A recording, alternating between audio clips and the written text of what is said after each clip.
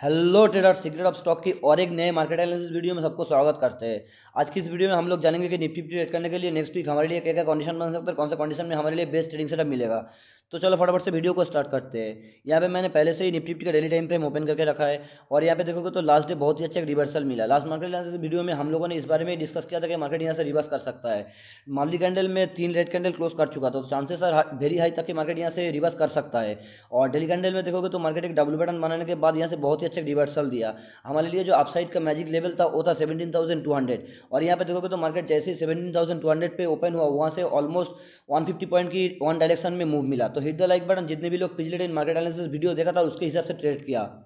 तो अभी यहाँ पे किस तरीके से प्लानिंग होना चाहिए? देखो डेली कैंडल में मार्केट बुलिस दिख रहा है और मार्केट के पास जो लास्ट लो था, उसके ऊपर मार्केट ऑलरेडी ट्रेड करना स्टार्ट कर चुका है। मार्केट अभी जिस एरिया के पास ट्रेड कर रहा है, वो एक कॉन्सलिडेशन एरिया है। आप चार्ट को जूम आउट करके पीछे जाओगे तो पीछे भी देखोगे मार्केट के पास सेवेंटीन से लेकर सेवन एक कॉन्सलिडेशन एरिया है।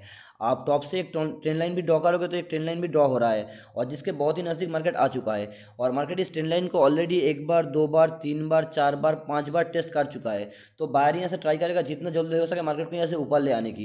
तो अभी मंडे या ट्यूसडे को एक ट्रेंडिंग मार्केट मिल सकता है। तो अभी फिफ्टीन मिनट कैंडल में जाकर एक्जैक्टली समझते हैं मंडे कौन सा कंडीशन में हमारे लिए बेस्ट ट्रेड मिल सकता है। अभी यहाँ पे मैं फिफ्टीन मिनट टाइम फ्रेम में आ चुका हूँ। मंडे हमारे लिए सबसे बेस्ट ट्रेड तब मिल सकता है मार्केट अगर फ्लैट ओपन हो या थोड़ा सा गैप डाउन ओपन हो। मतलब सेवेंटीन थाउज़ेंड थ्री सेवेंटी से लेकर थ्री हंड्रेड इस रेंज के अंदर मार्केट कहीं पर भी ओपन हो और यहाँ पे थोड़ा सा टाइम बिताने के बाद थ्री सेवेंटी को निकाले तो यहाँ से और एक मोमेंटम मिल सकता है। पहला टारगेट इमीडिएटली हमारे लिए सेवेंटीन थाउज़ेंड फाइव हंड्रेड तक होना चाहिए। उसके बाद अपने एसएल को टाइटली टेल करते चलेंगे। मार्केट अगर Monday directly gap up open होता है सेवेंटीन थाउज़ेंड फाइव हंड्रेड के ऊपर कहीं पे भी मार्केट गैप अप ओपन होता है तो यहाँ से एक सेलिंग का प्लानिंग कर सकते हैं। क्योंकि जो लोग मार्केट में इस एरिया के अंदर और इस एरिया के अंदर बाइंग करके अपने पोजीशन को वन लाइन लेके गए होंगे, जैसे ही मार्केट गैप अप ओपन होगा, उन लोगों को पीएनएल में बहुत ही अच्छा प्रॉफिट देखना स्टार्ट हो जाएगा। और सेवेंटीन थाउज़ेंड फाइव हंड्रेड एक रेजिस्टेंस एरिया है तो एक रेजिस्टेंस एरिया देख के वो लोग अपने प्रॉफिट को बुक कर सकते हैं। तो मंडे का मार्केट गैप अप ओपन होता है और ओपन होने के पहले ही पहले ही फाइव मिनट का कैंडल एक नेगेटिव कैंडल बनाए या शूटिंग स्टार कैंडल बनाए तो वहाँ से एक सेलिंग का प्लानिंग कर सकते हैं। मार्केट अगर Monday directly gap down open होता है, इस रेंज का तो कहीं भी गैप डाउन ओपन होता है तो यहाँ पे ट्रेड को इग्नोर कर जाएँगे। क्योंकि यहाँ पे देखोगे तो मार्केट के पास नीचे सपोर्ट मौजूद है और ऊपर में रेजिस्टेंस मौजूद है। तो फिर ए डे ऑप्शन सेलर के लिए बेस्ड डे हो जाएगा।